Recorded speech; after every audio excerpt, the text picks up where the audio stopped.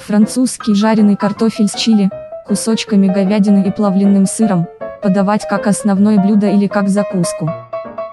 Обжарить в сковороде перчик чили и говяжий фарш, тем временем в другой сковороде обжарить бекон, добавить мелко нарезанный лук, соломки чили перца и тертый чеснок, готовить до появления восхитительного аромата, добавить нарезанные помидоры и полить соусом вустершир, приправить солью и перцем, хорошо перемешать, накрыть крышкой и варить около 15 минут. Досматриваем ролик до конца и записываем ингредиенты.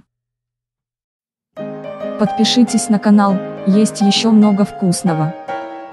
Нам понадобится картофель 1 кг, говяжий фарш 300 грамм, бекон 200 грамм, луковица 1 штука, чеснок 4 зубчика, чили 2-4 штук, помидоры 4-6 штук, паприка 1 чайная ложка, соль 1 по вкусу, соус вустершир 1 столовая ложка, тертый сыр чеддер 150 грамм, петрушка 2 столовые ложки, каенский перец 1 щепотка, растительное масло 3 стакана, количество порций 4. Подписывайтесь, комментируйте и ставьте лайки. Удачи!